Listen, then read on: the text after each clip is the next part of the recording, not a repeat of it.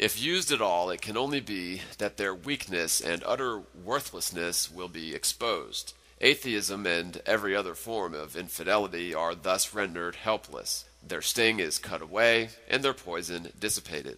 The irreligious philosopher can no longer obtrude his theories as things proved, wherewith to test the teachings of Scripture. He must now himself be tested. He must be forced to demonstrate his premises, a thing which he has never yet attempted and if he fails in this respect, his impious vanity, self conceit, and utter disregard of justice will become so clearly apparent that his presence in the ranks of science will no longer be tolerated. All theory must be put aside, and the questions at issue must be decided by independent and practical evidence. This has been done.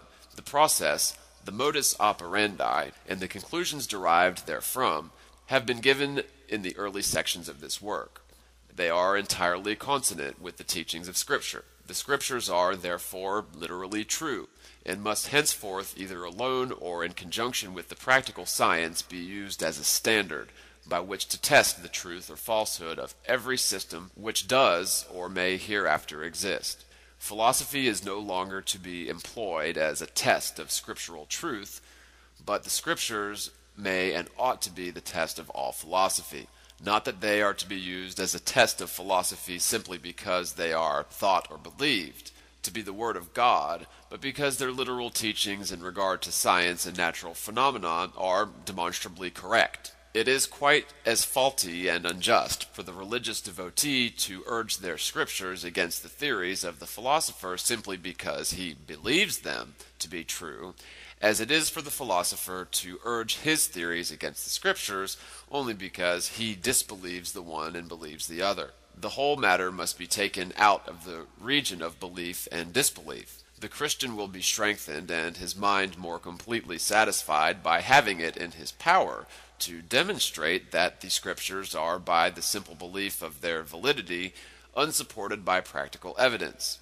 On the other hand, to demonstrate that the scriptures are philosophically true, then he could possibly be, by the simple belief in their validity, unsupported by practical evidence.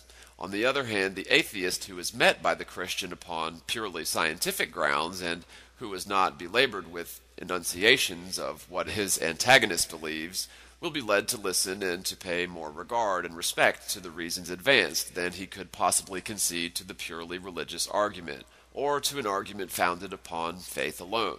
If it can be shown to the atheistical philosopher that his astronomical and geological theories are fallacious, and that the expressions in the scriptures which have reference to natural phenomenon are literally true, he will of necessity be led to admit that apart from all other considerations, if the philosophy of the scriptures is demonstrably correct, then possibly their spiritual and moral teachings may also be true. And if so, they may and indeed must have had a divine origin. And if so, they are truly the Word of God.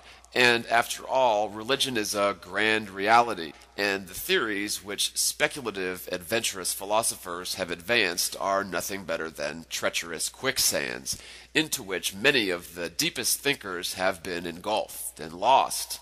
By this process, many highly intelligent minds have been led to the desert, the ranks of atheism, and to rejoin the army of Christian soldiers and devotees. Many have rejoiced, um, almost beyond expression, that the subject of the earth's true form and position in the universe had never been brought under their notice, and doubtless great numbers will yet be induced to return to that allegiance which plain demonstrable truth demands and deserves to induce numbers of earnest thinking human beings to leave the rebellious cause of atheism and false philosophy, to return to a full recognition of the beauty and truthfulness of the Scriptures, and to a participation in the joy and satisfaction which religion can alone supply, is a grand and cheering result and one which furnishes the noblest possible answer to the ever ready cui bono. In addition to the numerous quotations which have been given from the sacred scriptures and proved to be true and consistent, it may be useful, briefly, to refer to the following difficulties which have been raised by the scientific objectors to scriptural authority. Quote, As the earth is a globe, and as all is vast collections of water, its oceans, lakes, and etc.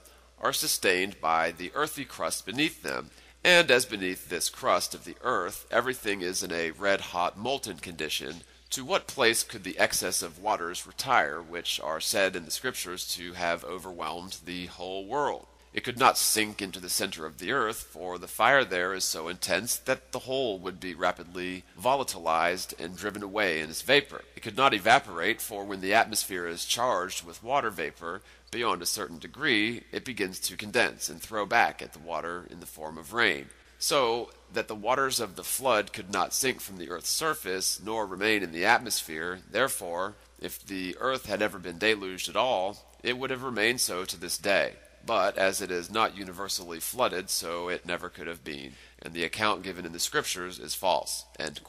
All this specious reasoning is founded upon the assumption that the earth is a globe. This doctrine, however, being false, all the difficulties quickly vanish the earth being founded on the seas would be as readily cleared of its superfluous water as would be the deck of a ship on emerging from a storm, or as a rock in the ocean would be cleared after the raging waves which for a time overwhelmed it had subsided. Quote, Thou coveredst the earth with the deep as with a garment, the water stood above the mountains. In thy rebuke they fled, and the voice of the thunder they hasted away down by the valleys unto the place which thou hast founded for them. Quote. Quote, thou didst leave the earth with rivers, and the overflowing of the waters passed by, and the deep uttered his voice and lifted up his hands on high.